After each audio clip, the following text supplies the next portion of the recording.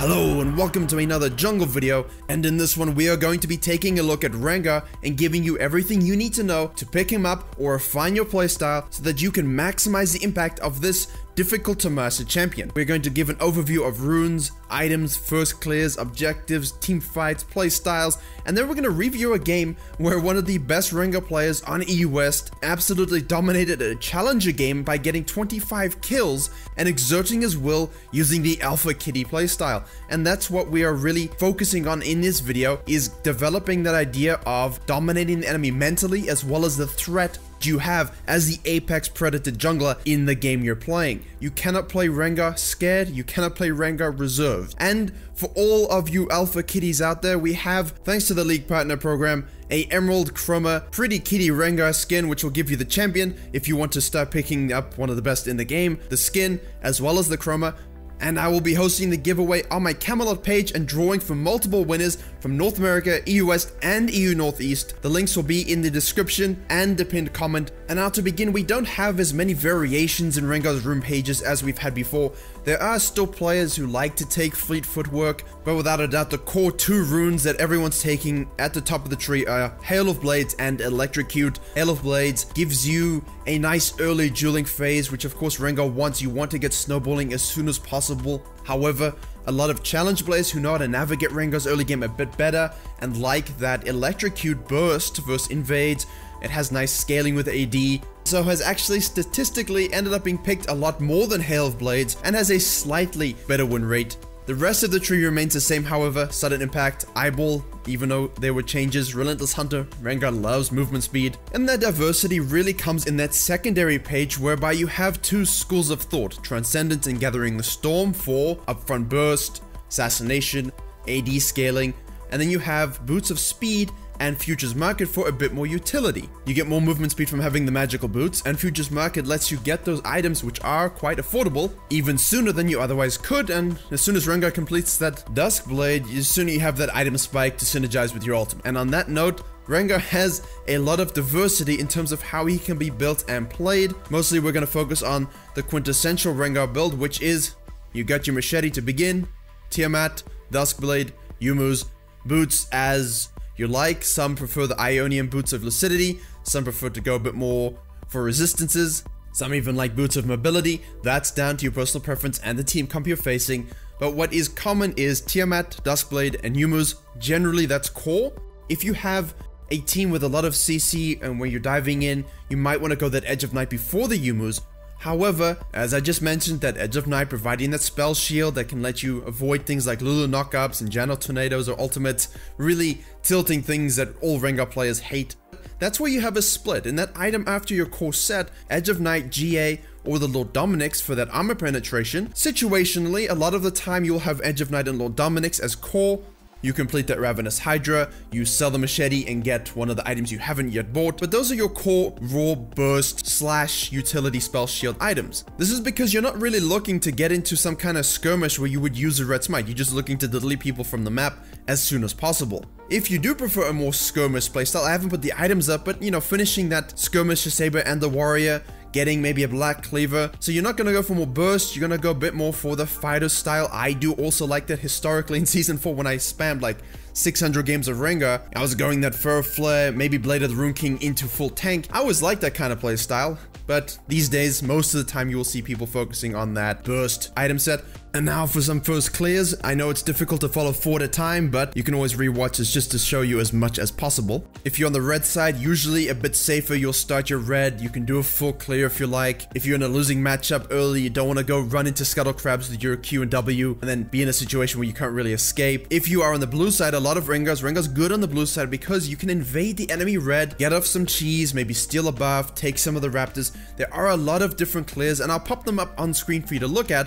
but he has such diversity in terms of taking classical clears as well as unique Rengar clears. The only thing I will point out very explicitly is make sure you are charging your Q and your auto attack on the plant behind the red buff so you can have two charges of ferocity by the time the red buff spawns. More empowered ability uptime, faster your clear is going to be. You also have unique ways of jumping to the Krugs using your ward. You don't have to do it as some don't like to waste their ward just to save themselves a few seconds. But some Rengars like to get that level 3 as soon as possible so they can actually have a lane impact because the whole goal of Rengar early is stack your Bone Tooth, get your core items, and start annihilating people.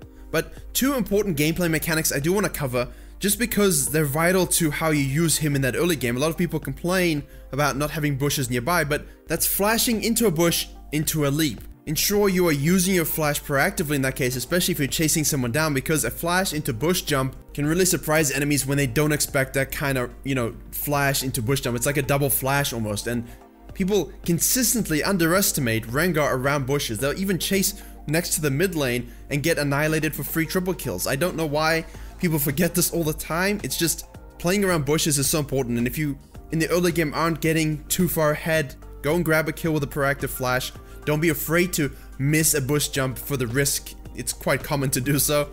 And on that note, make sure you are stacking your ferocity. You'll see a lot of players, you know, hitting plants to keep the ferocity cooldown timer up. In case you want to run into someone, go for a gank, you need to make sure that ferocity is stacking and not just walking around blindly with zero. If you are full stack ferocity and there's no way you can actually stack it further or you're heading to counter jungling or you're heading to escape, make sure you just use a Q as this challenger jungler does gives you that movement speed boost, gets you around the map faster, that's all we're looking for, really. And finally, before we head into our dedicated gameplay example, remember Rengar can melt towers very, very quickly. He has strong Rift Herald Dragon Control because of his raw damage. And when it comes to late game team fights, make sure it can seem a bit troll when you're ditching your team, but how to team fight as an assassin. I did a whole video on it. Wait for your windows of opportunity. Don't greed too soon and then die. Don't jump into five people if they're grouping. Wait for fights to occur.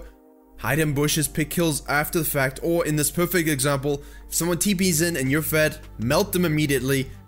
Then you've got a 5v4, use your ultimate, look for that flank, take out the person who's gonna tilt you, in this case Zilean, just kill him. Don't let him use his ultimate, take him away, and when you do that, and the Ivern places the bush, well, you know, I, I think Ivern's kind of just killing his own team when he puts a bush up versus a Rengar, but nonetheless, that's the kind of effect you're looking for, using your Edge of Night to avoid crucial CC, taking out targets that can inhibit your ability to kill primary targets, and ideally getting a pick off before the actual fight occurs. You're not looking for raw 5v5s, and if you do have that, skirt the edges, wait for the right time, and pick your moment. And now for our 25 kill challenger game. Naturally, we won't analyze every single minute of it. I just like this one because it didn't start off super, super well. Oftentimes you have a 25 kill Rengar, you think, well, he must have gotten a kill in an invade, he must have collected some kind of bounty or something at the beginning of the game that let him really hard control the game, and in this one, it wasn't quite that way. So he begins by going off for a cheeky invade. As I said, when you're blue side Rengar, you can always go and look for something if your top lane is with you, gives you a nice angle of approach. You've got a lot of bushes around that red buff that you can use. Primes his Q, hits an auto on the plant, steals the red buff, steals the raptors and leaves a baby. You'll notice that they've kind of gotten wind of this, even though they didn't have core vision. They just felt like they could invade, and there's a huge skirmish between both teams going around, even though the Evelynn does actually get the red buff. The Rengar now has decided to flank and try and cut her off. He doesn't bite off more than he can chew, rotates around, and he tries to fight the Evelynn over the Raptor camp. He's able to outsmite her purely because the Evelynn used her smite on the Krugs just trying to survive in the earlier skirmish, and I would have put an animation so you could have seen that. And now, this is where things can fall flat. He goes for the flash bush jump, but you're level 3, it's the early game, you don't have insane burst damage, and he actually just dies. So that's quite sad. Now, on the other end of the spectrum, you would have noticed that the Mundo stole his blue buff. So this is not a very good beginning for the Rengar, and this is why I like this game because it highlights what you need to do in less than optimal circumstances in order to get yourself fed. Now, a lot of Rengars in this case might feel bit hesitant to put on the Alpha Kitty show, but you have to turn it on and keep it on always, and that includes flash, jumping, and dying. That's part of the process. They know you're serious now. And so as his blue buff has been stolen, his top laner would have communicated that. He could have seen it himself when Mundo went to the top lane. He knows that Evelynn was low HP and had no flash after his death in the mid lane, meaning even if she stays out to do full clear, she's gonna be able to survive that given that it's Evelynn, but she's not going to have the resources to go and conduct a gank of her own. Knowing this, Rengar takes his Krugs and immediately League of Lane ganks the bottom lane. They know from the early skirmish there are no flashes, and whenever you know there are no flashes in a side lane, as Rengar, you love that lane gank. and he picks up a kill on the Braum. Now, because of this, he ventures into the river to see if the Scuttle Crab is up, and of course it is, as Evelynn has done a clear of her own jungle you would have seen on the small screen, takes that crab, and now instead of retreating back into his jungle, Alpha Kitty goes back down to the bottom lane and conducts the same gank again, and they're able to secure a kill on the Kai'Sa. So this is huge for his Bone Tooth, of course. And now naturally, if the enemy jungler knows what they're doing, depending on the MMR range you're in, they will go and counter jungle your top side. Now obviously laners like the Fizz and the Jarvan won't collapse on the Evelynn knowingly and kill them and take them off the map.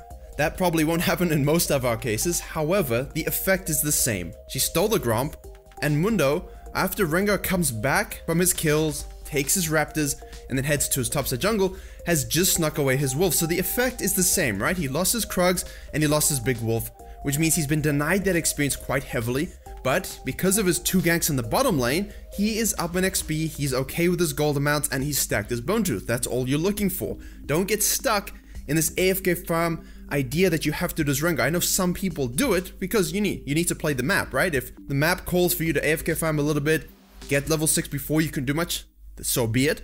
But this particular player loves to be active early game, loves to go for those lane ganks, stacking their Bone Tooth and using Futures Mark to get his power spike sooner. And now on that end, he of course has nothing on that side of the map, his red buff is spawning, he can go and secure that and take control of his own jungle. Now, because of the denial he's had from the Mundo, from the Evelynn, he's not quite at that level 6 stage, so he moves down to the Krugs and actually there's about to be a 4-man gank on the bottom lane from the Zed and the Evelynn, which they love to do, and if you don't have vision, can always surprise the bot lane, which, let's face it, is always the case. However, he dazzles the Zed with his mating dance, jumping in and out of the bushes. Zed doesn't want to waste his ultimate because guess what? He knows that Rengar is going to kill him anyway, and the bot lane is now aware of his presence. He also uses a very nice bush jump to the mini Krug to avoid a Kai'Sa W, and then as Evelynn comes in to try and assassinate him, he flashes at just the right time, uses that W for a little bit of heal which gives him enough to jump back in and help his team secure a kill in Evelynn. So, very tight situation he found himself in, but through good mechanics with Rengar, quick decision making, good reflexes, cat-like reflexes if you wish, he's able to survive and come away with even more kills, stacking their Bone Tooth. And so now, despite not having the best start, because of the double lane gank in the bottom lane, because of that nice display he just had picking up another kill and assist, he's actually in a very, very good spot and you can feel the confidence when he starts to move around the map now. The Mundo is still stealing his crap, so everyone collapses and finally kills the good doctor. In this case, he does not go where he pleases. Rengar begins to invade the Evelynn, he begins to walk into the mid lane. Oh hello Evelynn from stealth, let me just kill you as you try and shoe in on the Fizz. Oh look, the Zed altered me, doesn't matter, you do no damage to me anyway. So that Alpha Kitty, the behavior, his body language, the damage he's starting to dish out at this stage already is enough to sort of frighten the enemy from actually doing too much to him because as soon as they get close, he will be able to chunk them down. And that's what I'm talking about. Even though he had a slower beginning of the game, his presence on the map and his ability to just to go in and win these tight skirmishes or just completely turn a fight because he's Rengar is now a mental thing that the enemy team has to overcome as well. And when you've reached that stage, it's important to now take control of the enemy's jungle and take them out of the game completely. We've talked a lot about this recently, but with Rengar, it's almost you have to do this or you're not really using him to his full potential. After shoving that wave mid, the Zed's low HP so he can't really afford to go in, Rengar knows that the blue buff is spawning for the enemy and that Evelynn most likely is going to rotate down and try and take that. What beats in Evelynn's camo? Well, you seeing them. He uses the plan to jump over the bush, Evelynn's right there on time, uses her ultimate to try and escape, but it's around a bush, so it really wasn't a good decision by her, and she gets taken out. So she respawns after Rengar kills her in a counter gank, then he invades her and kills her again as she goes for a blue buff. He may be wearing a onesie, but his knife is definitely sharp.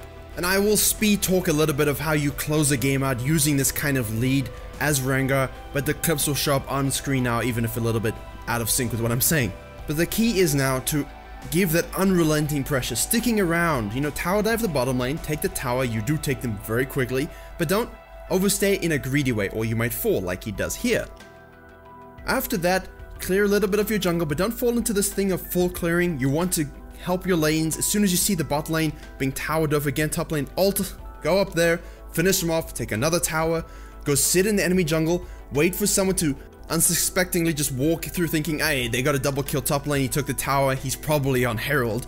No, you're in the bush and you're gonna take another one out. If you're in low and mid MMRs playing Rengar, don't usually advise it, but if you are and you're good enough with Rengar, go sit in those bushes when you're fed, scan it and wait. People will not ward, they will just walk in and it gives you free kills.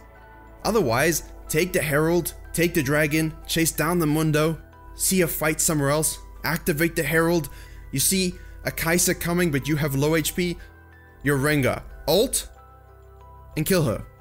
You have burst, you have that heal, you have the life steal. You're not going to die when you're this far ahead, so don't underestimate the damage you can dish out even in tight situations. And when you try and exert that dominant playstyle onto the enemy throughout all phases of the game, not just early game, throughout all phases, it's about taking objectives once you get a little bit fed and then completely zoning them and making them afraid of walking anywhere beyond vision or towers. Naturally, the ignorant and the bad will do that anyway, and as Rengar, enjoy your feast, go grab more kills.